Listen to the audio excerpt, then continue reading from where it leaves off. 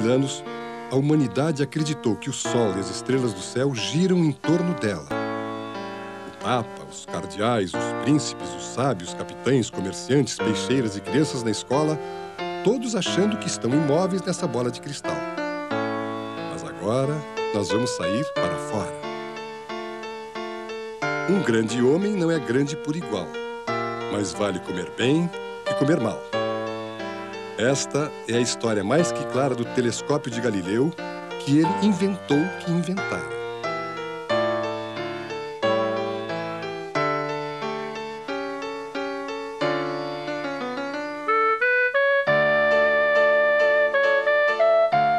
(1910) Ano de grandes acontecimentos. No Brasil, ocorre a Revolta da Chibata, liderada por João Cândido. Getúlio Vargas casa-se com Dona Darcy Lima.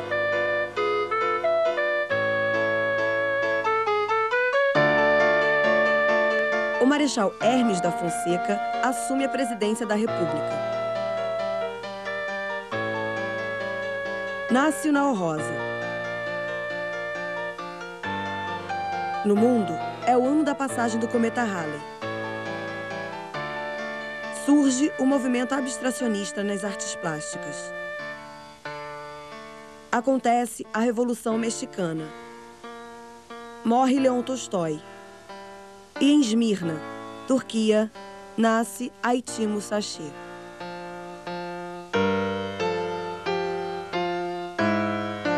O Haiti, quando veio para o Brasil, ele tinha um ano. Ele nasceu em Esmirna e veio para o Brasil com a minha mãe. Meu pai chegou um ano antes, para acomodar um pouco, para ter condições de mandar minha família. E nessa hora veio o Haiti para aqui. E nós praticamente passamos essa primeira infância, os primeiros 15 anos, em Niterói. Lembramos dele como uma espécie de líder, porque realmente meu pai estava com os afazeres dele, com os problemas difíceis de quem migra. Mas ele não, ele orientava, mas uma orientação que era dada por alguns exemplos muito bons. O Haiti, para nós, era, usando o termo de hoje, né, que é o que se usa muito, era o nosso guru. Era a pessoa que a gente seguia, que acompanhava, que adorava, né? De modo que tudo com ele era de primeira qualidade, a gente atendia tudo que ele indicava e ele nos orientava em tudo. Bastante exigente, era bastante severo, um irmão em que a, ah, o auxílio às dificuldades ou as, mesmo as facilidades da vida, ele tinha isto de irmão. E, e também o irmão que aconselhava os tipos de leitura, o que se deve fazer ou não fazer, porque ele complementava aquilo que o meu pai, com a disponibilidade que ele tinha de tempo, porque ele precisava de um tempo muito, muito grande para poder fazer o que era necessário para a sobrevivência da família. Então o Haiti complementava desta maneira, inclusive com os bons exemplos. Foi quando nós morávamos em Niterói, ao lado havia uma, chama-se faluas, que são, carregavam sacos de farinha do Rio para Niterói. E elas ficavam depois de uma ponte e, e lá se fazia o, carregamento, o descarregamento da farinha. E o Haiti, eu não assisti a esse fato, porque eu ainda era muito pequeno. O Haiti, então, ficou encantado com o mar. Ele viu o mar, foi à falua e se atirou. Mas ele não sabia que não sabia nadar.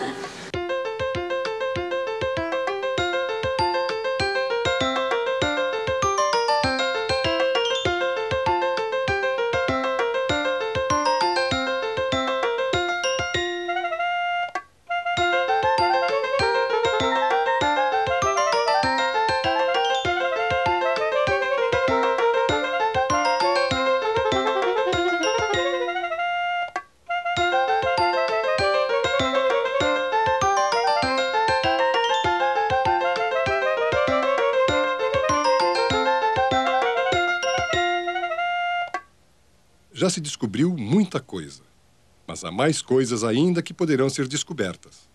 de modo que também as novas gerações têm o que fazer.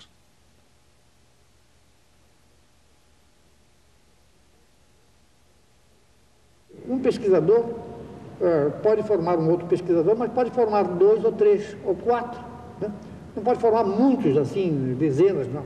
Tem que ser poucos, porque cada indivíduo que você está uh, formando é, é uma pessoa. Tem que atender um pouco ao caráter dessa pessoa, a sua maneira de ser, e para que a convivência seja útil para ele, para o laboratório. Então, cada um desses é um jovem que você vai preparar para se dedicar à ciência. E eu faço uma imagem, é como se fosse um escultor que está criando alguma coisa e que tem a todo momento com o buril, está procurando aqui e ali dar a, a feição que tem que ter aquilo que você quer criar, ou que vai ser o pesquisador. Né? Então, seria assim um, uma imagem estética. O Haiti tinha uma visão humanística da, e o papel da ciência como fator de desenvolvimento e, de, e riqueza dos países. E que era, era a única saída do subdesenvolvimento é, é, era a ciência. E o Haiti batalhou isso a vida inteira.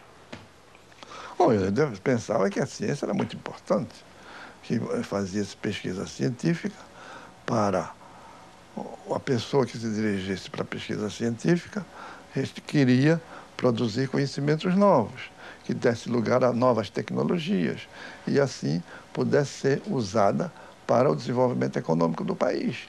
Esse era o pensamento dele, meu, e a gente discutia muito isso. A verdade é filha do tempo e não da autoridade. A nossa ignorância é infinita. Vamos reduzi-la a um centímetro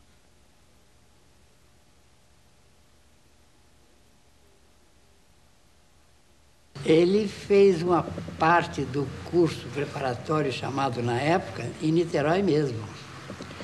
Ele realmente foi para o Rio de Janeiro em 1929, exatamente, onde ele se pela, pela, pela afinidade que ele já tinha das coisas de biologia e de história natural, enfim, ele depois, então, quando ele foi fazer o curso no Rio de Janeiro para completar os preparatórios para seguir a, a faculdade de medicina.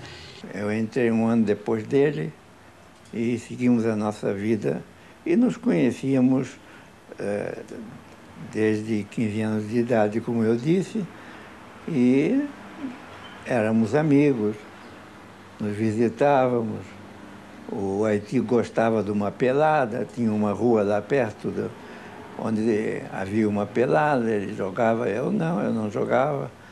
Gostava mais de, de, de ficar em casa, ler, mas depois o Haiti também tinha muitos livros. O pai dele era uma pessoa muito culta e a, tinha uma pequena biblioteca em casa, em Niterói. E ele queria fazer, primeiro ele queria fazer química. Quando ele foi saber como eram as condições de química, ele viu que não era química pura, era química industrial que existia. Então ele desistiu. E queria estudar biologia, mas também não tinha curso de biologia. Não é? Na medicina se estudava biologia também. Então ele não tem outra saída, foi fazer medicina. Mas já sabendo que. Bom, aí começou. Já sabendo que não queria ser médico ia se dedicar ou à química ou a outra coisa qualquer, mas não, não médico, com, com clínica. Então ele começou a frequentar a universidade, ele veio para aqui para fazer a nacional, ele não fazia. Lá tinha a escola de medicina, né? Mas ele pegava a barca e vinha aqui, pegava a barca, o bonde, até Praia Vermelha para assistir às aulas na, na nacional. E, e me disse um dia que eu gostava de parasitologia e ele também. E então disse, você vem ver umas lâminas aqui. Então nós íamos aos, aos domingos, naquela época não havia Avenida Brasil, nós tomávamos o trem da Leopoldina e descíamos na segunda estação, primeiro era a triagem, segundo, a segunda era Amorim, que agora se chama Carlos Chagas, a estação de Carlos Chagas, descíamos ali e subíamos o morro a pé até o hospital. Isso fazíamos domingos, aos domingos, porque era a única possibilidade que tínhamos.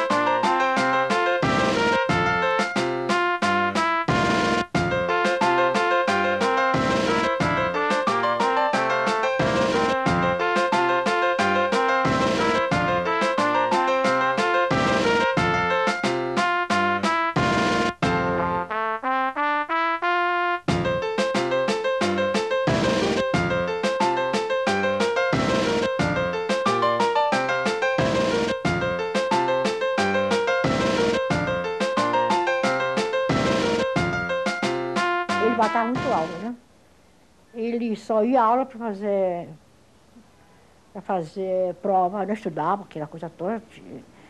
Mas não, quase não assistia aula, porque não, não tinha interesse. Ele ia para a biblioteca com o Vício, o Werther, e ficavam estudando lá, conversando outras coisas, mas não assistindo aula. E o doutor Álvaro convidou uma pessoa para um aluno, esse aluno também convidou, não, sugeriu o nome do Haiti, porque o Haiti gostava muito de fisiologia. Então ele foi ser monitor do doutor Álvaro.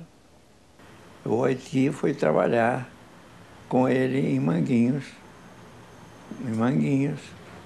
Primeiro como estagiário, depois fez um concurso, entrou.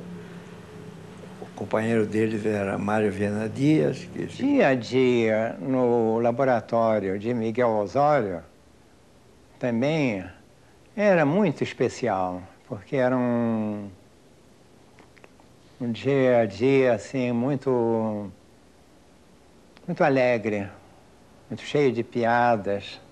O, o trabalho lá com o doutor Miguel, no tempo de Manguinhos, ah, é um, é um, tenho as maiores saudades daquele tempo. Era, como era bom. E Miguel, ele, ele brincava muito, dizia que no, no meu laboratório, se às vezes ele falava assim, falamos assim, não, aqui no, no laboratório, os meus assistentes querem o que eu quero, eu quero o que eles querem. É verdade que eles sabem que eu quero, até isso é muito importante. Mas era um, um, foram anos de, de ouro. Anos de ouro. Meu senhor, a minha ciência ainda tem fome de saber.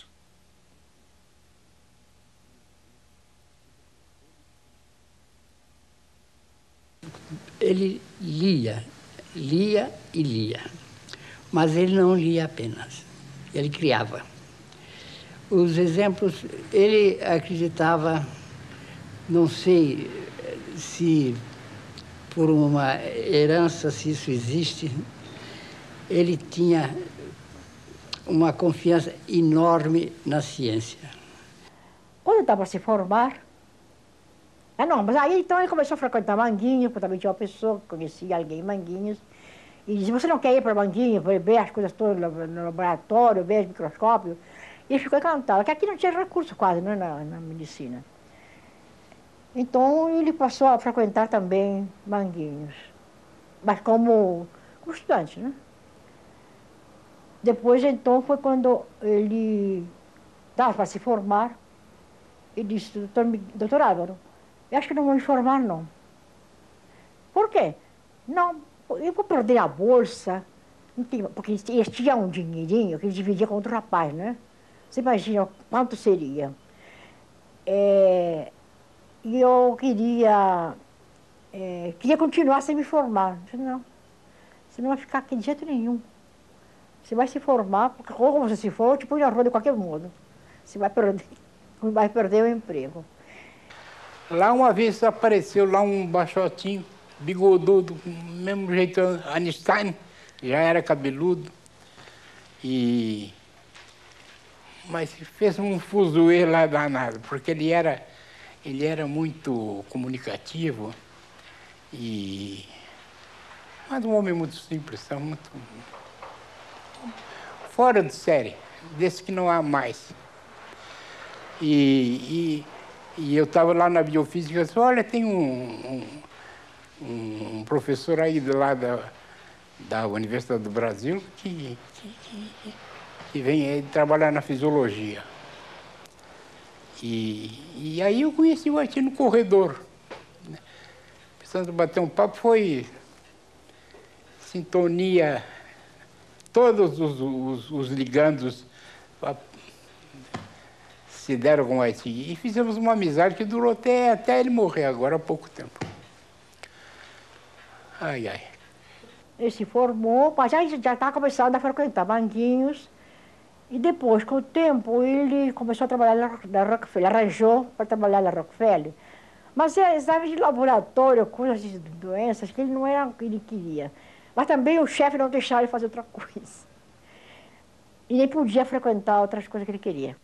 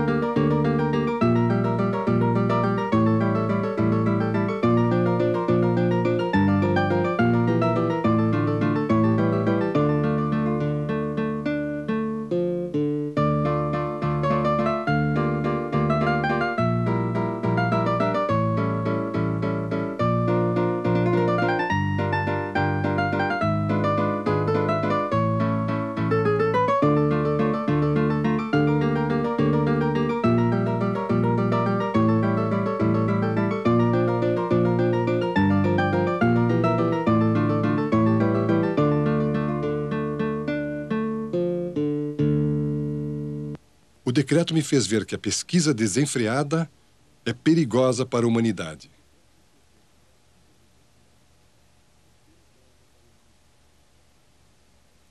Do, ponto de vista da ciência, eu até conversava com ele, falava: pô, professor, o senhor é tão inteligente fica mexendo com essas cobras, gambás, papapá, esses bichos aí que eu tenho favor e horror, né?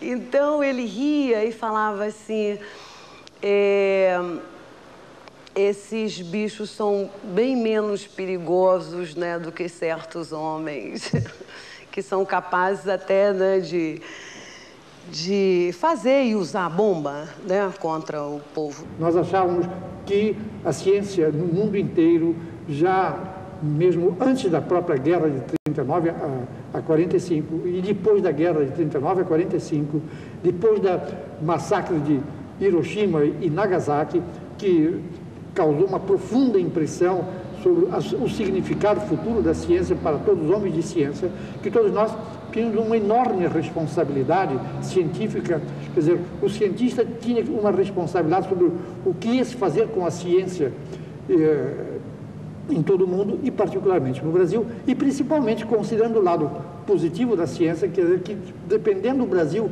de que se, re, se formassem novos pesquisadores, o Instituto deveria se dedicar muito mais à, à pesquisa básica e pesquisa tecnológica, mas no sentido tecnológico de pesquisa mesmo. Nós tínhamos que ter um organismo com capacidade de, de congregar o pessoal que trabalhava em certas áreas numa unidade mais força política e, e realmente foi o que aconteceu. Nessa época, ainda não havia o Conselho de Pesquisas. O, Conselho de Pesquisa veio depois. Né? Então, era uma, uma reunião, uma congregação que reunia os pesquisadores e realizava um, uma reunião anual, abrangendo todas as ciências e possuía na época uma revista que era a, a Ciência e Cultura, né? Cultura e Ciência, que era principalmente dirigida por quem até hoje está vivo, José Reis, da Universidade de São Paulo, da USP. Né? Por esse amor à ciência, ele criava. Ele foi aqui um dos fundadores da SBPC. A SBPC considera a fundadora dos 128 primeiros, primeiros sócios. Era uma sociedade que reuniria os pesquisadores já como núcleo fundamental, os pesquisadores já de uma larga experiência, os jovens pesquisadores que estavam trabalhando com cada um de nós, né? e, e também procurando levar para o público em geral, para todas as camadas da nossa sociedade, uma informação uh, da ciência originada pelos próprios pesquisadores, que dentro da orientação de um respeito à verdade e à transmissão das coisas como devem ser feitas para o entendimento daqueles que têm curiosidade em saber alguma coisa do que se passa no mundo científico. O Haiti foi além, porque ele foi secretário aqui no Rio da SBPC, que tinha, tinha sede em São Paulo. Né? Essa, essa era uma diferença. Também discutimos muito juntos com Leite Lopes, com o Daci Ribeiro, a formação da Universidade de Brasília. O Haiti também estava no grupo Leite Lopes, é, com o Darcy, que foi quem fundou, a, na realidade, a Universidade de Brasília. E ele nos convidou para colaborar no projeto que o Juscelino tinha proposto de organizar, como disse o Juscelino, uma universidade nova para uma cidade nova. Realmente as nossas universidades representavam ainda um ranço muito antigo, de que eram aqueles catedráticos que tinham um poder enorme de decisão, etc. Tinha que ser organizado já em departamentos. E se pensou nisso, uh, fazer uma universidade de uma estrutura diferente das estruturas até então existentes nas universidades. Então se pensou fazer os institutos básicos, que é o que tem a Universidade de Brasília. Né? Se fizeram então uma universidade que tinha características muito diferentes a participação foi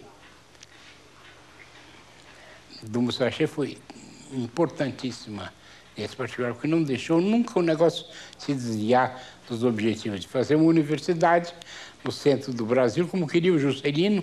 Isso refletiu sobre as outras universidades que passaram a fundar departamentos, sentiram que realmente alguma coisa nova a Universidade de Brasília estava propondo e fazendo e que elas também tinham que se re refazer um pouco a sua estrutura, se criaram então o, o que se chama os departamentos que hoje existem nas outras universidades.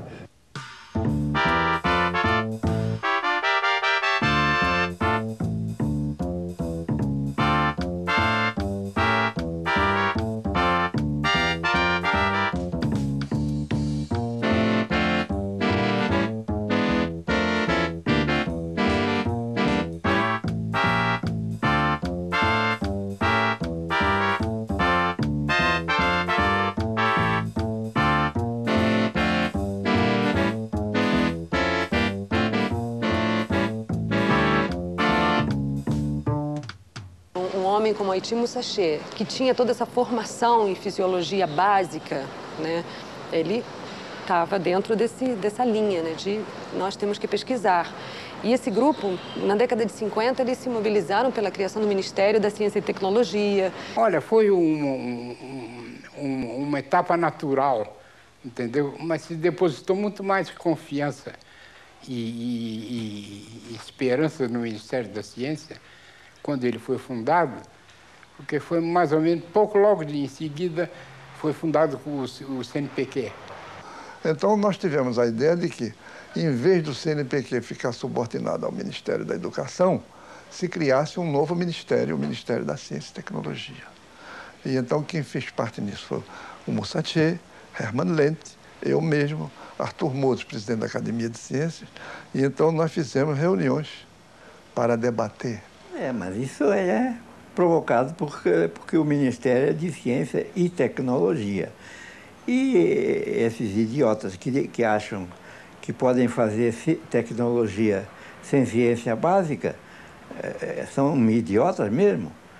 Como é que você vai fazer tecnologia sem, sem, sem saber os fundamentos da ciência? Isso foi aprovado, essa ideia.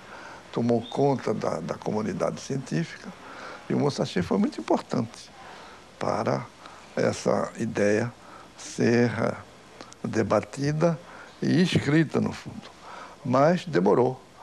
Foi o Jango, depois veio o golpe,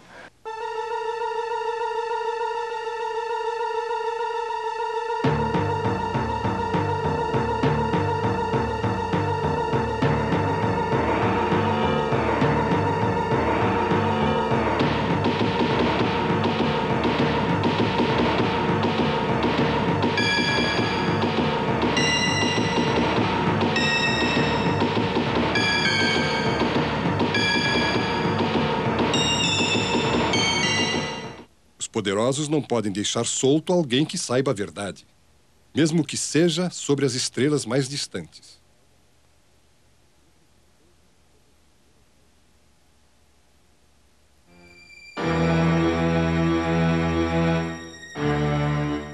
A fim de controlar a situação, baixa-se o ato institucional número 5, o mais violento dos atos institucionais dando poderes ao presidente da República para fechar o Congresso Nacional, caçar mandatos parlamentares, decretar estado de sítio e suspender direitos políticos por 10 anos.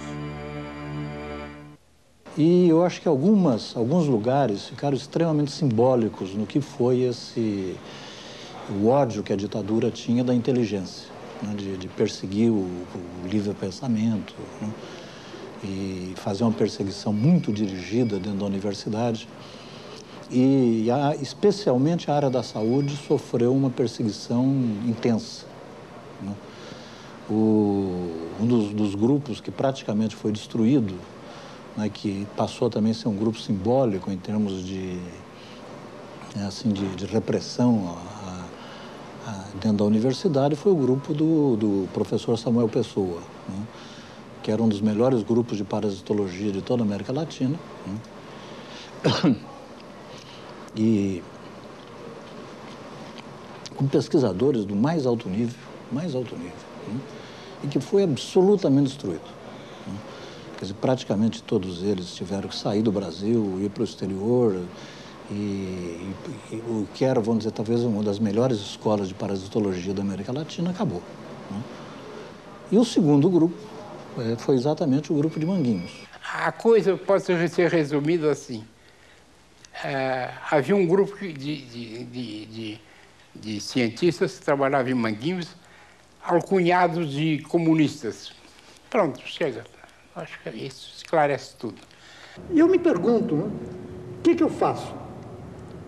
É, eu sou perigoso por quê? Em que, que eu estou trabalhando para ser perigoso?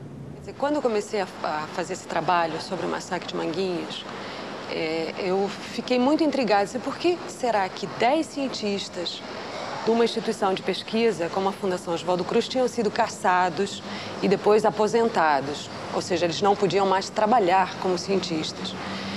E eu comecei a ouvir os cientistas que foram caçados, né? entre eles Hermann Lente, Etimo Sachet, todos eles. Né? E alguns diziam, não, isso foi um problema pessoal. O diretor, na época, não gostava da gente e ele nos caçou.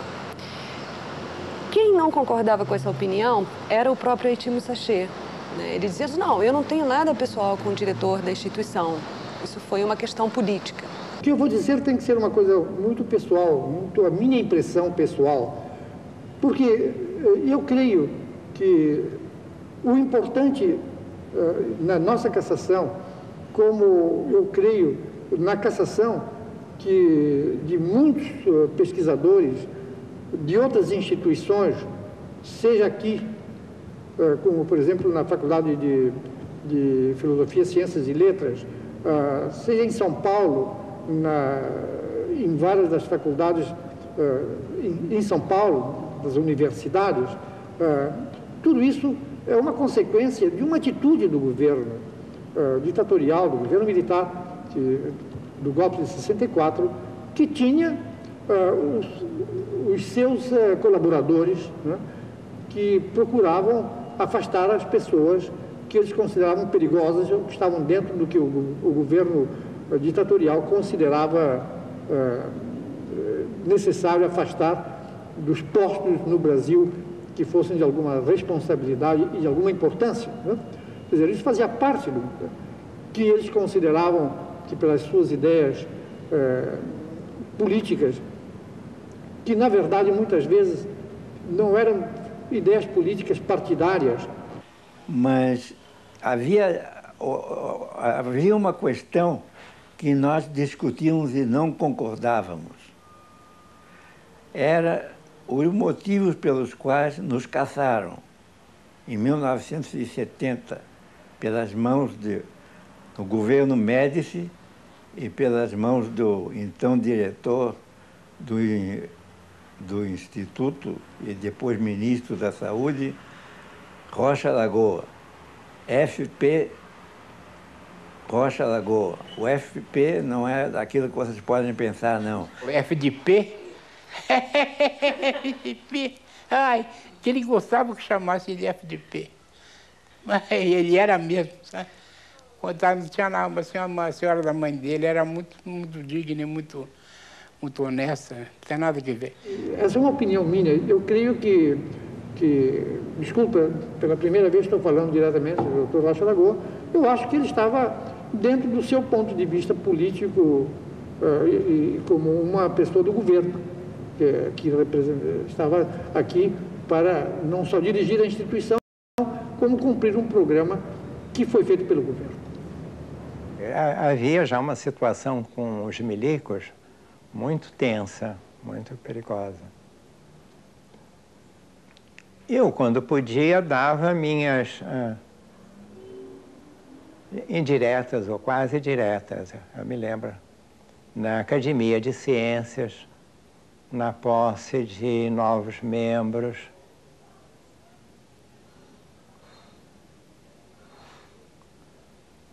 E me lembro perfeitamente ali em Manguinhos, junto, perto ali do, do, do prédio do, da peste, do, o Erma Lente me dizer, é, Mário, toma cuidado com a língua. Que você está tá na malça de mira chata. E o grupo de Manguinhos tinha uma outra característica. Né? É, em primeiro lugar, porque foi uma perseguição por um pesquisador medíocre. Né? É, o ministro que virou ministro, ministro da Saúde, o Rocha Lagoa, era um pesquisador medíocre da, da Fundação Oswaldo Cruz, então ele acabou é, combinando né, é, os ciúmes, o rancor né, com a perseguição política. Dizem que ele teve uma participação ativa, é, é que acontece a cassação desses dez cientistas, que segundo relatos deles mesmos, souberam pelo repórter Esso, né? Atenção, atenção, repórter Esso. Amigo ouvintes, aqui fala o repórter Esso, testemunho ocular da história. De manhã, um dos que estavam colaborando comigo chegou e me disse, olha, doutor Mussatché, uh, eu ouvi na televisão ontem uh, uma lista de cassações do Instituto Oswaldo Cruz e eu creio que eu vi o seu nome. Eu disse, mas uh, só o meu nome? Não, era uma lista. Havia uma outra pessoa que é um nome alemão. Eu disse, bom, não é alemão, é o doutor Hermann Lentz. Estava, é Hermann Lentz. Bom, então, realmente, o nome que, que o senhor citou deve ser o meu também, porque é, há um grupo que estava admitindo que iria ser caçado um dia. É a célebre frase que eu disse aí no, no Garcia Marques, que eu parodiei. A, a, minha reação é que eu comecei a rir um pouco, mas não é rir de nervoso, não, achei muita graça, não? Se bem, enfim, aí chegou o esperado que a gente estava esperando. Ele estava num desses inquéritos, né? Acho que foi aquele da Ministério da Saúde. E o... Primeiro chamaram porque queriam esclarecer um dinheiro que ele tinha recebido da, da, da Fundação Ford. Depois falaram, não, eu sei que essas suas contas estão muito bem, está aprovado, não tem nada não. Eu queria apurar mais sobre o senhor, esse homem. Eu queria saber as suas ideias. Mas você já não leu meus relatórios anteriores? Já não leu todas as minhas declarações? Ah, não, mas você precisa identificar. O senhor é comunista?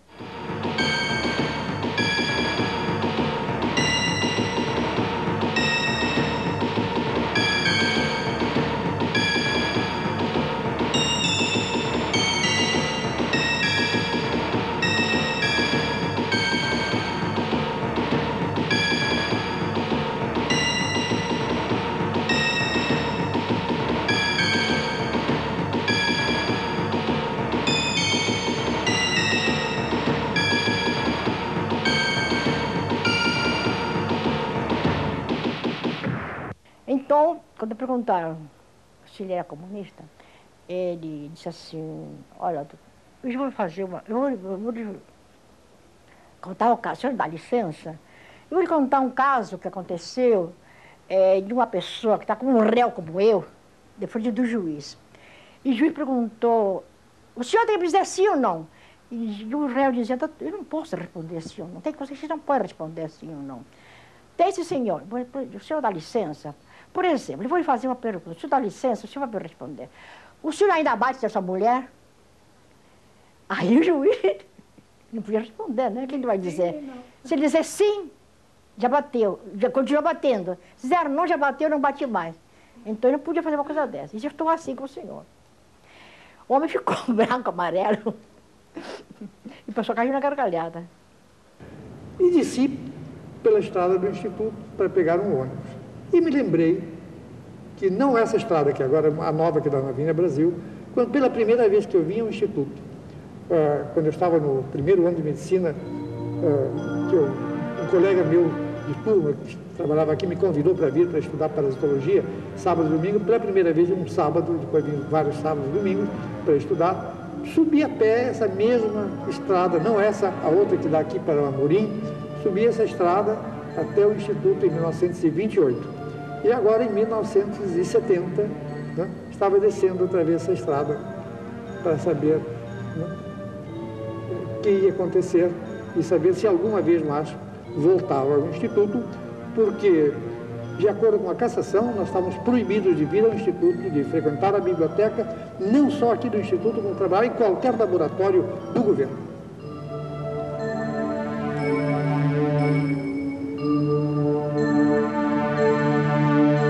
Irresistível sedução do livro, essa mercadoria sagrada. Corre água na boca e as maldições se afogam. A grande Babilônia, a besta assassina, afasta as coxas e tudo mudou.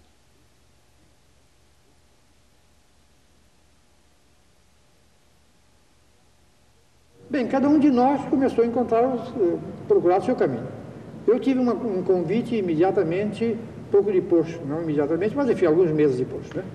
poucos meses, tive um convite para ir para a Inglaterra. Eu ia para, para Edimburgo, né? e depois houve também uma oferta para ir para Londres, e o doutor Batuba, que também estava procurando ver um caminho e que também tinha sido convidado para, para, Cambridge depois de um tempo, né? mas ele tinha sido previamente convidado para ir para a Venezuela, foi para a Venezuela. Batuba começou a juntar material, começou a formar as coisas, e escreveu para ele, você não quer vir para cá, uma universidade nova, precisa com vontade de aprender, você não quer... Aí a gente não está com vontade não, a gente está querendo esperar a bolsa lá da, de Londres. Na Inglaterra seria mais um. Lá, lá nessa, nessa na universidade, eu podia fazer alguma coisa que, de novo, não tinha nada com pesquisa científica, a gente tem que fazer é aquilo que a gente já sabe. Né? Aí surgiu um incidente, é que a, a, os tentáculos desse cafajeste, desse, desse, desse ministro da Saúde, chegaram à Venezuela e ele influenciou lá o reitor e o vice-reitor. A ponto que o reitor, o reitor me chamou. Eu disse, ah, o senhor tem um compromisso comigo. Eu não estou aqui brincando. Uh, o senhor sustenta a vinda do doutor Mussachê? Pois não, olha, foi fantástico o homem. O, o, reitor foi muito, muito simpático e aceitou logo, disse, olha, não, não há problema. Aceitou, mas acabou aceitando e nós fomos para lá. Quando nós chegamos lá, o diretor que nos convidou já tinha saído. Mas o reitor nos recebeu muito bem. O Haiti estava saindo do Brasil para lá. Quando chegou no aeroporto, disse, olha, Haiti, você chegou na hora da onça beber água. Mais um pouco, você era cortado. E, e ele, bom, felizmente, deu tudo certo. E na, na Venezuela, eu ter a possibilidade de ter um laboratório que pela primeira vez se montava e pela primeira vez se começava realmente a trabalhar em ciência, porque a universidade era muito nova, né?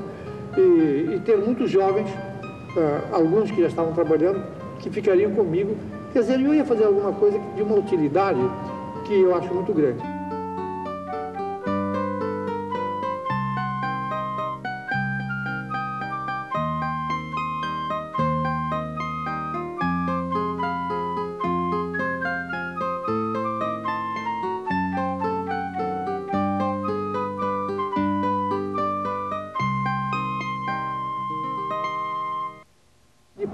Próprio reitor me convidou para ser presidente da, do Conselho de Pesquisa da Universidade, que ainda não tinha sido criado. Quer dizer, a minha atividade lá durante, eh, de 71 até 74, uh, permitiu o florescimento de várias jovens e o reitor mesmo sentiu que era chegado o momento de organizar um conselho de pesquisas uh, da universidade. Y él, na verdade, no solo fue el presidente de, esa institución, como que también fue la persona que inició eh, realmente eh, el desarrollo de, la investigación científica en la universidad. A Venezuela, para ele, foi uma situação normal. Ele tinha todo o apoio, todo o carinho, toda a amizade das pessoas. Ele não se sentia um estranho lá, pelo contrário, achava que estava à vontade. Mas isso porque nós não estávamos pensando em voltar já, né? apesar da anistia, porque o Haiti não saiu é, refugiado. Ele saiu com autorização, mas porque eles deixaram ali, mas, não, não, entende? Não, não, não, não foi um caso de refugiado em embaixada, não foi nada disso, porque o Haiti se negou sempre. Disse, não, não tem por que me refugiar, não tenho nada que me negar, nem, nem que responder. A verdade escondida. Os dedos em fita, primeiro calou, mas depois falou. Verdade, prossiga.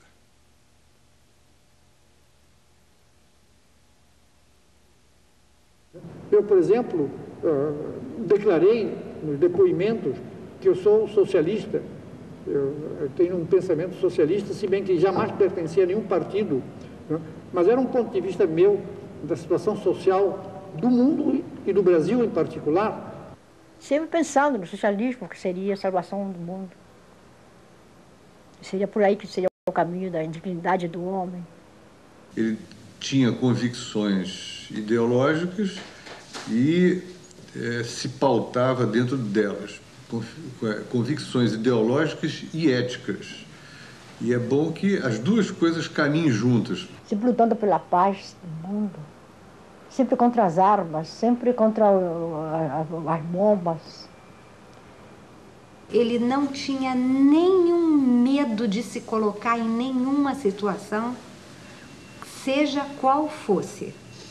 Ele poderia até discordar, né, é, respeitar o outro, mas é, ele, ele, não, ele não fazia aconchavos, de jeito nenhum.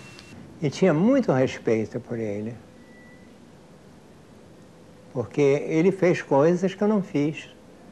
Ele, ele ah, pagou na carne as atitudes dele, né? Eu, eu fui um cansado branco, né? Foi muito mais cômodo para mim. Ele não. Ele foi cansado mesmo. Mas hoje tudo mudou. O homem, o torturado, ergue a cabeça e diz: Eu posso viver. Ah, é tanto o ganho quando um só que seja levanta e diz não.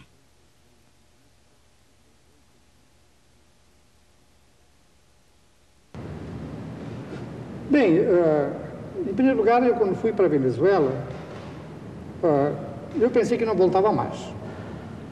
Considerava a minha ida para a Venezuela alguma coisa definitiva.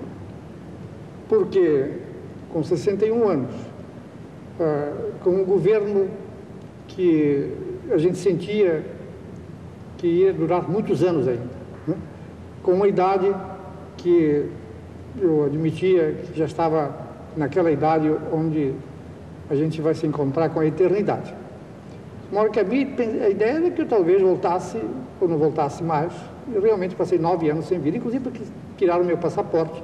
E então a fundação em um processo que foi eh, dirigido por Sergio Aroca, que en ese momento era presidente de la fundación, eh, quiso traer a él de nuevo, a él y al resto de los pesquisadores que tenían sido casados. También yo acho que él tiene una presión muy fuerte de su familia para que él voltase. Aun cuando él también tiene una presión muy fuerte del lado de lá para que no viese, ¿no? Entonces, eh, yo acho que él ficou, en ese momento en su vida, fue un momento difícil para él, porque yo acho que no quería voltar, porque él era muy querido en, en, Venezuela. Y en la universidad, él, yo acho que se convirtió en, un, diríamos, quizás casi como un ídolo. Realmente las personas lo querían mucho, lo seguían mucho y lo respetaban mucho. E Aroca nos convida. Aproveita o momento de ter assumido o poder no Fiocruz para resgatar, para recuperar a história, é, resgata os, todos os, os cientistas, os dez, os dez caçados, entende? E, e, e, em especial, no, no Renascer das Cinzas foi a recriação. Foi o único departamento que foi virtualmente recriado. O departamento que era divisão de fisiologia e farmacodinâmica, isso é importante, não sei se o Mário Viana Dias passou para vocês na entrevista. Foi o único departamento que foi pulverizado com a cassação do Musashi. E assim, como o país é, pagou um preço altíssimo, né? altíssimo por, pelo esse ódio que a ditadura tinha do pensamento, da inteligência. Né? E essa arrogância mesmo, assim, de, de fechar, fechar laboratório. Né? Depois nós começamos a recuperar, eu, eu ia lá para o lixo da fundação, recuperar as coleções de lâminas de pesquisadores, né? que, que eram, foram jogadas fora. Né? É, os equipamentos, é, foi realmente numa... E a fundação caiu numa decadência, né? a partir do, do massacre, que quando eu assumi a presidência, ali, aquilo era um mato. E voltar ao Instituto representava para mim o primeiro dia que eu vim ao Instituto, como eu disse, subindo aquela estrada e ir lá para o laboratório eh, em 1928, vir para o Instituto em 34, trabalhar aqui 40 anos, organizar um laboratório, quer dizer, voltar outra vez a esse instituto era um ideal desde que eu era estudante de ginásio, que eu sempre quis fazer ciência e que quando entrei para o instituto foi essa a minha objeção, sempre trabalhei no instituto, jamais eh, tive eh, clínica nem nada disso. Voltar a isso que, que representa? Representa alguma que é indefinível em palavras. Nós decidimos fazer a reintegração, fosse o que fosse, né? Com, contratando eles como pesquisadores da dengue por 90, 90 dias. Né? E, e, aí começou a discussão, bom, como que vai ser isso? Vai ser uma assinatura de um, de um contrato? Eu falei, ah, não vai não. Isso daí vai ser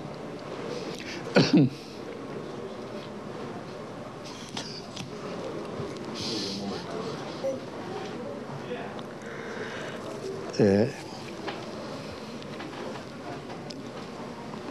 Mas aí, o, aí nós resolvemos fazer uma festa que fosse realmente para valer. Né?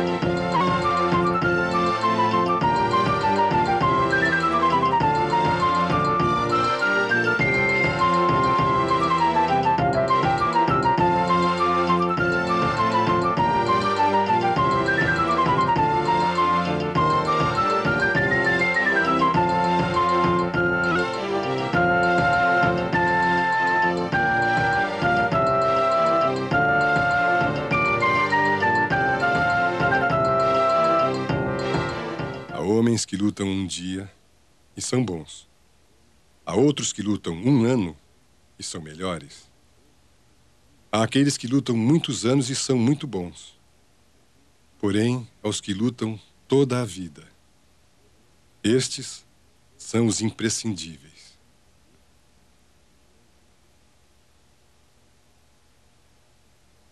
Ele é uma pessoa extremadamente ejemplarizante, não só como pesquisador, que quizás es una de las fases importantes de su vida, sino como homem.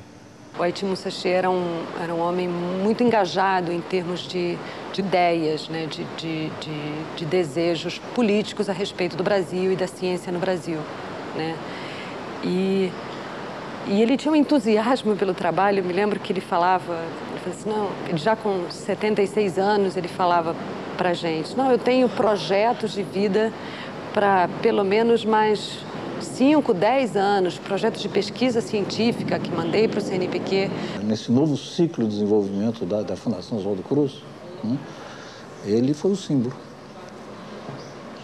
Da, eu acho que principalmente desse processo da redemocratização do conhecimento científico no país. O político é, é, o, é a pessoa que entende de gente, profundamente. E, e, o Haiti era isso, e daí esse poder de sedução dele, né? Eu, eu cheguei até a brincar com a Caden, a mulher dele, né? Falei, pô, Caden, se você não existisse, eu já estaria namorando com o professor Haiti. Carinho por tudo, pela ciência, por mim, pelos filhos,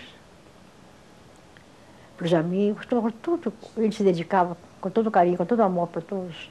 Ele era muito fiel aos amigos, era um muito bom amigo. Isso é muito raro nessa época. Encontrar um amigo pela vida longa de, de 70 e muitos anos, quase 80, ah, e nunca houve, um, nunca houve um estremecimento maior entre eu e ele. Sempre era muito. O Haiti era um jeito, com aquele jeitão de Einstein, né? Era um. Era uma figura carismática, não é? Esse lado, então, ético do, de Haiti, com a personalidade dele forte, sensível, brincalhão, irônico, ele não era de nada de passar sermão, assim, não é? Não era, não. Ele era uma pessoa muito, muito irônica. Ele falava com os olhos, né? brilhava. O brilho dele era incrível. Enquanto a gente ia a um quilômetro atrás, ele ia a um quilômetro na frente. Ele sempre andou, apesar da dificuldade física dele, ele sempre andou muito rápido. Ele nunca, a gente nunca conseguia acompanhar o vovô. Ele sempre ia assim quilômetros de distância e a gente lá atrás tentando ir atrás. Eu me perguntava, de que energia esse homem é feito? Ele foi o irmão mais completo. Aquele irmão que é o que nós somos e aquele irmão que é diferente das coisas que nós somos. Infelizmente, né, é, nós perdemos, mas eu acho que ele deixa essa marca. Ele, ele, ele vive, entendeu? Ele deixa, deixa um exemplo assim fantástico, essa coisa de, de como se relacionar com as pessoas, o respeito profundo, a dedicação profunda ao trabalho, porque esse trabalho ele tinha um, tem, tem uma causa maior, que é a nossa missão, que é recuperar as condições de saúde da nossa população. Para nós, podíamos ser, podia um pesquisador ser democrata no sentido clássico ou ser socialista, isso para nós não era problema.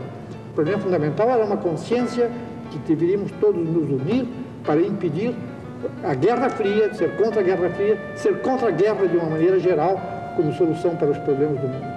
Então nós somos favoráveis a uma estrutura social que permita utilizar o que a gente está fazendo para o bem de todos. Se isso é crime, pois então somos criminosos, mas isso a história julgará.